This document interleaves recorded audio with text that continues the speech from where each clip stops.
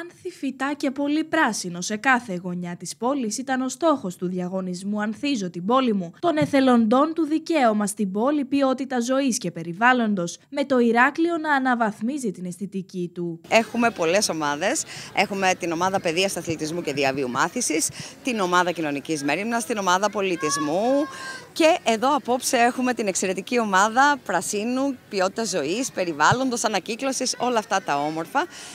Ε, σε μια εξαιρετική δράση. Τους φιλοξενούμε στο πάρκο Γεωργιάδη. Είναι ευκαιρία να μάθει ο κόσμος ότι εδώ αυτό το αναψυκτήριο λέγεται το πάρκο μας και είναι ένα δικό μας πάρκο και φιλοξενεί αυτή την εξαιρετική δράση. Πολίτες όλων των ηλικιών με τις συμμετοχές να ξεπερνούν τις 60 πήραν μέρος στον διαγωνισμό στολίζοντας την πόλη με φυτά και ενισχύοντας την πράσινη νότα του Ηρακλείου. Ένας διαγωνισμός που όπως φαίνεται θα καθιερωθεί θέλοντας να ευαισθητοποιηθούν οι πολίτες για την ενίσχυση του στοιχείου της φύσης στον αστικό ιστό. Έκανε την εμφάνισή του μέσα από τη δημιουργία 185 παιδιών, καθώς σε συνεργασία με τους αρμόδιους ζωγράφησαν λουλούδια στο στον τοίχο του σχολείου τους. Η δράση αυτή έχει ξεκινήσει εδώ και τρεις μήνες.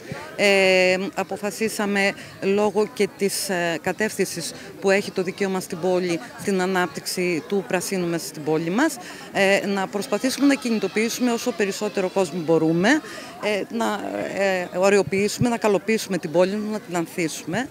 Ε, και έτσι ξεκινήσαμε με το διαγωνισμό κήπου για τις πέντε δημοτικές ενότητες. Ζωγραφίσαμε ένα τείχο 12 επί 10 μέτρα, τον ανθίσαμε, έγινε μια ε, πρόσωψη κτηρίου ε, κήπος. Μέσα από αυτό προσπαθήσαμε να προωθήσουμε ακόμα περισσότερο το διαγωνισμό για να συμμετέχουν περισσότεροι πολίτες. Ε, αυτό ευτυχώς ε, ήταν πολλαπλές οι, αντιδράσεις, οι θετικές αντιδράσεις, ε, γιατί ήταν σε τείχο σχολείου.